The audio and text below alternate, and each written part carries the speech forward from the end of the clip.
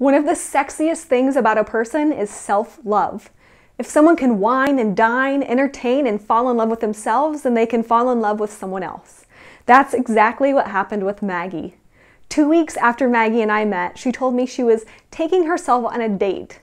She took herself to a nice dinner, treated herself to wine and then to a movie. She even dressed up all fancy. She wore a cute outfit, did her makeup and hair, and she was ready to wow her date for sure.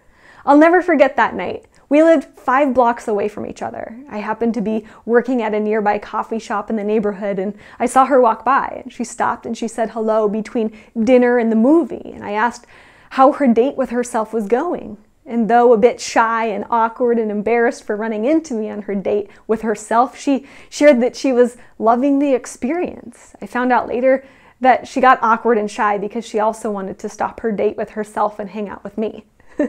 Maggie and I texted each other for a while after she finished her movie and had gone home, and she said dinner was good and that it went by fast, which it would for a table of one. Service was fast and the food was good. She liked the exercise of being alone with herself and in public where everyone else and their friends and family and lives were happening. I think we should take ourselves out and wine and dine ourselves, relationship or not, far, far more than we do. It's easy to get comfortable and to hide behind your partner, behind your fear of being alone. It seems now that every chance we are alone with our thoughts for even just a moment, we panic. We pick up our phones. We text as if we're doing very, very important things like checking Facebook.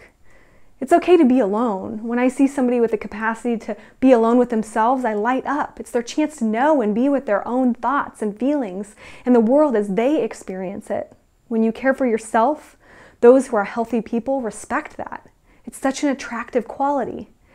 I fell even harder for Maggie the night that she took herself out on a date. Self love is one of the sexiest qualities about a person. She didn't half ass the date night either. She was all in and she treated herself like the best damn date ever. What she did told me that she could be alone with her thoughts, feelings, and ideas. It reassured me that if we got together, she wouldn't lose herself in me or in us. And it proved that she has a strong foundation and a life of her own. It even validated that she really does love herself and the company that she keeps. Even if it was just a challenge to experience what it was like, I admired that she did it. I like being around people who challenge themselves, who think deeply about love and life and meaning and purpose and everything it means to be alive. I like those who break the mold, who aren't embarrassed of themselves. When was the last time you took yourself on a date? Schedule it in the calendar right now. Take yourself to your favorite place, order what you want, not just what's the cheapest.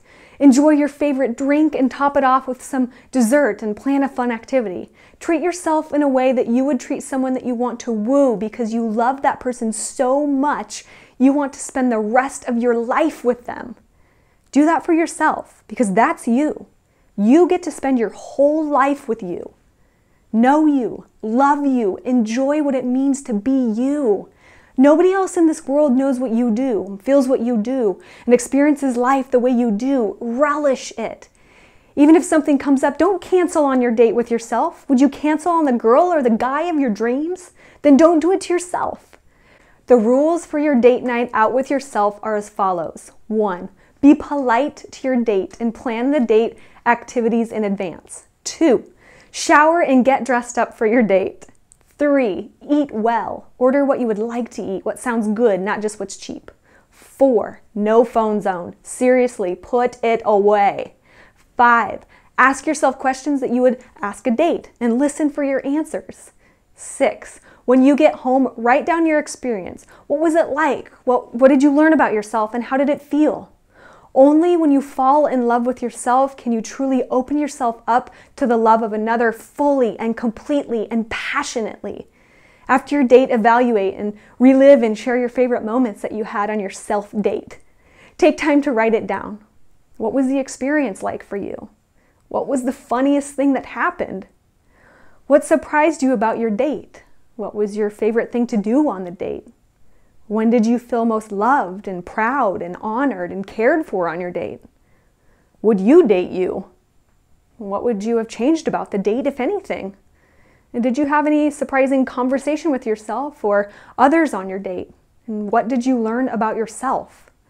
Write it down so that you can learn from yourself and appreciate your time one on one with you, a pretty exceptional human being. Look over your list of answers to these questions and play with what it's like to be you, to date you, and who and how you want to be in relationship both with yourself and with others.